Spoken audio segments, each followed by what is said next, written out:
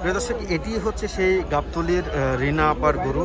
গাবতলির রিনা আপার সেই ঐতিহাসিক গরুটি আপনারা দেখছেন এবং সেই ঐতিহাসিক গরুটি সম্পর্কে রিনা আপা এতক্ষণ বলছিলেন যে রিনা আপা সেই সুদূর কুষ্টিয়া থেকে তিনি চোদ্দ তারিখ রওনা দিয়েছেন এবং পনেরো তারিখ তিনি গাবতলি হাটে এসেছেন। এই গরুটির আঠাশ মন মাংস রয়েছে। রিনা আপা নয় লাখ টাকা হলে বিক্রি করবেন বলে তিনি আমাদের জানিয়েছেন।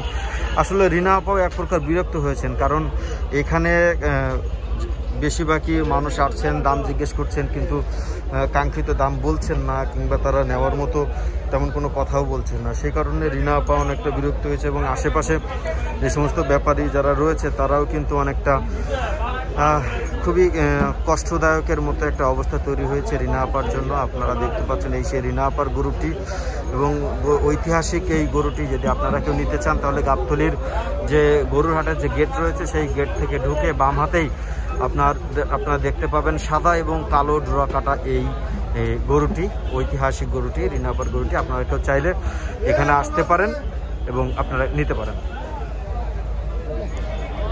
আমার নাম রিনা। আমি আসছি কুষ্টা থেকে, আমার গরু নিয়ে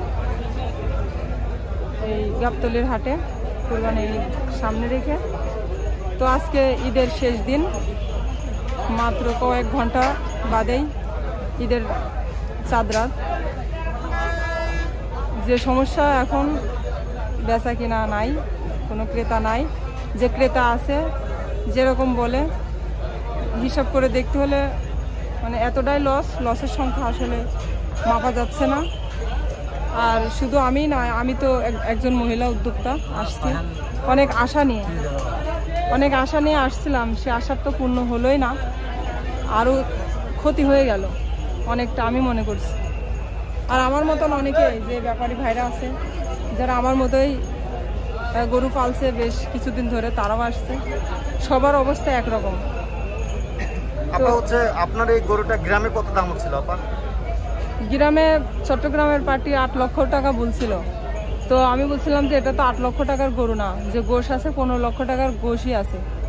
তো আট লক্ষ টাকা বলছে আমি গাবতলির হাট, যেটা বাংলাদেশের বড় হাট সব ছাড়া, সে হাটে নিয়ে যাই, দেখি কি অবস্থা হয়। আল্লাহ কপালে যেটা রাখবে হয়তো সেটাই হবে, দেখি। এই আশাতে এখানে আসছিলাম।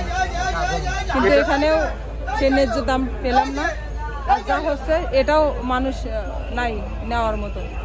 এটা আপা এখন কত বলা হচ্ছে আপনার গরুটা? এখন এক একজন এক এক রকম বলছে কিন্তু সামনে তো আসতেছে না। কারণ আমার আশা একটা নয় যদি নয় নয়ও যদি হতো নয় লাখও যদি হতো সাড়ে আট লক্ষ টাকা খাওয়াইছি এখানে পঁচিশ হাজার টাকা নিয়ে এসছি হ্যাঁ। আর শেষ এ পর্যন্তই। আর মনে করেন সাড়ে তিন বছর পরে ওই পঁচিশ হাজার টাকা লাভ থাকবে। এবার যদি সাড়ে তিন বছর একটা গরু মানুষ করে যদি পঁচিশ হাজার টাকা যদি লাভ করতে হয়, এবার বাংলাদেশটা আগানোর ইয়েতে আরও কতটা পিছাই যাবে? একটু চিন্তা করে দেখতে হবে এই ছোট ছোট জিনিসগুলো। আর এখানে আর কিছু আমার মনে হয় না আর কিছু বলার মতো আছে। আপাও অনেক ধন্যবাদ আপনাকে। প্রিয় দর্শক এই মুহূর্তে আমরা ছিলাম গাবতলির সেই ঐতিহাসিক গরুর হাটে এবং এটাই হচ্ছে সেই রিনা আপার ঐতিহাসিক গরু। আপা এটা কত মন গরু মাংস আছে এটা আঠাশ মন। আঠাশ মন এটার মাংস রয়েছে। এবং আপা হচ্ছে এই এই মুহূর্তে বলছেন যে নয় লাখ টাকা হলে তিনি হয়তো গরুটা ছেড়ে দিবেন। তিনি যে আশা নিয়ে সেই কুষ্টিয়া থেকে এসেছিলেন সেই আশা হয়তো তার মাটি হয়ে যাবে। অনেক বলছেন বিভিন্ন দাম বলছেন। আপা আপনি গাবতলি হাটে কবে আসছেন? আমি চোদ্দ তারিখে বের হয়েছি পনেরো তারিখে। এখানে পৌঁছেছি সকাল ছয়টায়। পনেরো তারিখে আমাদের আপা এসেছে। আপার হচ্ছে কেউ যদি গরুটি কিনতে চান আপা আপনার নাম্বারটা একটু বলেন। ভাই আমি সরি আচ্ছা নাম্বার আর আচ্ছা ঠিক আছে একদমই গাবতলির গরুর হাটের যে ঐতিহাসিক যে গেটটা সেই ঐতিহাসিক গেটের একদম ঢুকেই বাম পাশে রিনা আপার গরুটি রয়েছে যে বিশাল সুদামদের অধিকারী। রিনা আপার গরুটি সেই গরুটি আপনারা দেখ- দেখতে পাচ্ছেন এবং সেই ঐতিহাসিক গরুটি কিন্তু আপনারা দেখছেন। আপনারা যদি কেউ গরুটি নিতে চান, তাহলে আপনারা নিতে পারেন এবং আসতে পারেন এবং আপনাদের কাঙ্ক্ষিত মানের যে গরুটি, সেই কাঙ্ক্ষিত মানের গরুটি হচ্ছে এটা। এটি হচ্ছে সেই ঋণা আপার গরু।